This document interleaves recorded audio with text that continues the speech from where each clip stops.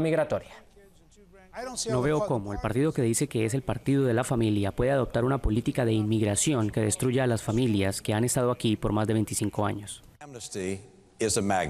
La amnistía es un imán. Cuando hemos tenido en el pasado programas que le permiten a las personas que vienen de manera ilegal quedarse, eso solo ha motivado a más gente a venir al país de manera ilegal.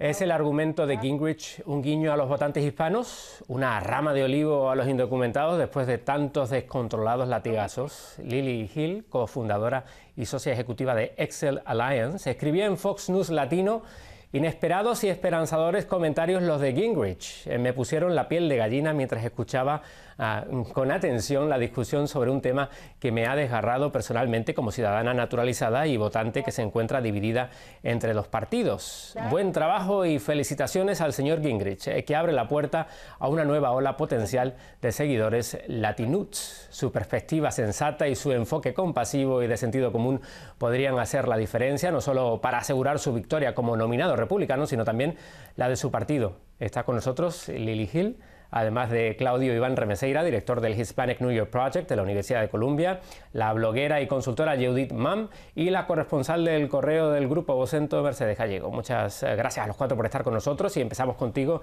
Liliana, porque hemos escuchado comentarios similares de candidatos republicanos en el pasado. ¿Te los crees esta vez? Pues todavía está muy temprano para poder tomar una decisión específica.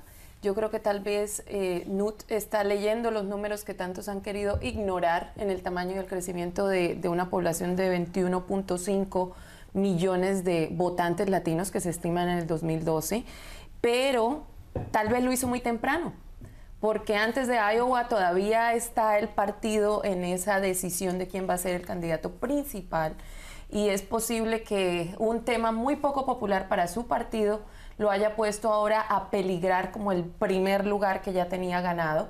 Y bueno, para nosotros los latinos es algo que da una lucecita de esperanza para un partido que típicamente no es tan amistoso con el inmigrante. Bueno, la, perdón, no, adelante. No, adelante, no, no. los números no mienten, es que sería absurdo ignorarlo. Cuando el 67... Bueno, pero estamos hablando de los candidatos republicanos y de los debates republicanos. que tienden a tener su poco de no absurdo. Exacto, exacto, pero, pero nada más haciendo la matemática, o sea, para ellos poder ganar en los estados que generalmente son los controversiales, o sea, la Florida, los más grandes, Texas, Nueva York, California, Nevada, Colorado, y tú vas y entras a mirar profundamente y esos estados hoy, después de la nueva data que el censo nos ha dado, uno de cada tres personas en ese estado son latinos, mínimo.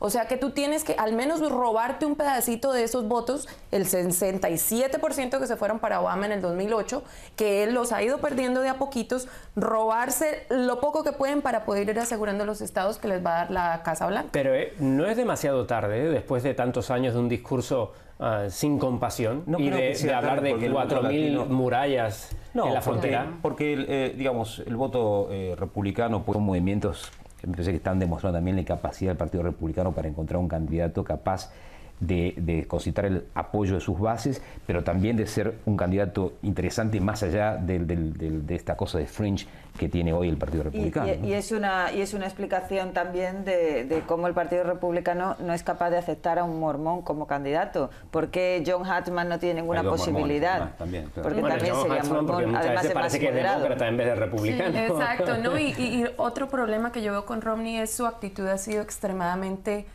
arrogante al punto de que él se cree ya el ganador. Y, sí, la cosa es mental, pero también hay que irla competiendo y respetando también a sus colegas en el proceso. Él ha ignorado a Iowa en su proceso de, campaña y se ha ido para New Hampshire porque él dice, bueno, este ya lo tengo en el bolsillo, sigo con el número dos en donde tengo que estar haciendo campaña y eso lo ha afectado. Lo ha afectado porque en Iowa, eh, que están mal acostumbrados a ser el que tiene toda la atención de todos los candidatos queriéndose ganar el amor del Estado antes del caucus, él no lo está haciendo. Entonces, vamos a ver.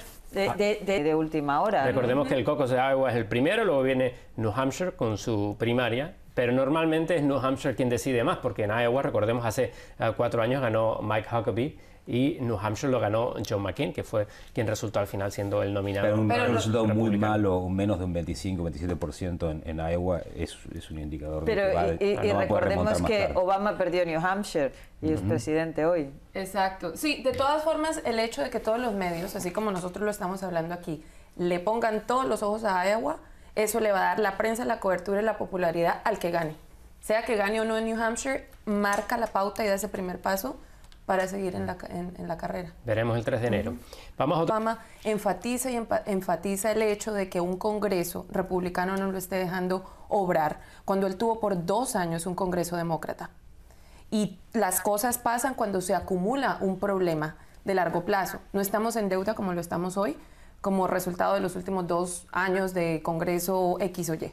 Lo que ha pasado es que una vez más estamos demostrando que el proceso electoral y el proceso de selección del nuevo presidente en el 2012 se está atravesando en las agendas personales de cada partido sin permitir que hayan decisiones para tomar decisiones que ayuden al, país a salir de una crisis porque sus agendas son más grandes que la posibilidad de llegar a un acuerdo eh, entre los partidos. Yo lo que no estoy de acuerdo. Estados Unidos. Vamos a ver algún resultado electoral de lo que ha sido este movimiento? Este movimiento no es político y de momento no se refleja en ningún candidato. Pero vamos a admitir, tiene ramificaciones políticas, es obvio, porque el tema caliente en Washington, con el supercomité, con los dos partidos es la economía, la economía y la economía. Yo creo que estos jóvenes que se han lanzado a ponerle megáfono a la frustración de todos, sin importar el partido, han logrado ese objetivo de decir, wow, les estamos poniendo atención, aquí estamos hablando de ellos, salen en las noticias casi que a diario.